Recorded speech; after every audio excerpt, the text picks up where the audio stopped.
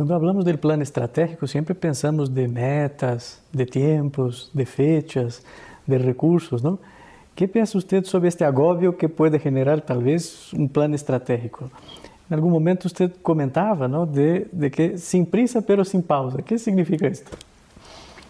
Fernando Rielo, que es el fundador de los misioneros y misioneras identes, cuando en alguna ocasión él hablaba de cómo se tiene que gobernar una institución religiosa, en este caso, él decía que hay dos vicios de la persona de gobierno, que son la superficialidad y las prisas.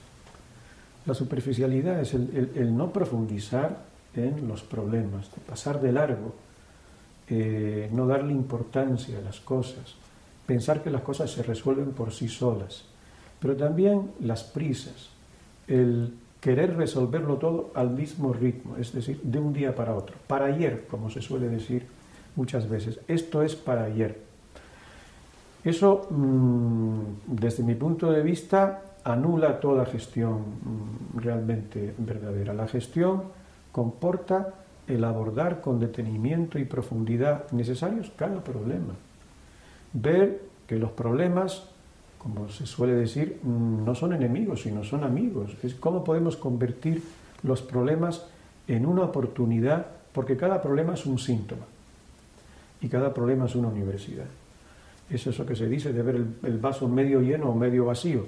Hay que verlo siempre medio lleno. Lo que muchas personas ven como un problema, bien visto, bien analizado esa circunstancia, en realidad es una oportunidad. Entonces, eso si uno va deprisa, si uno quiere todo para ayer, es incapaz de apreciarlo.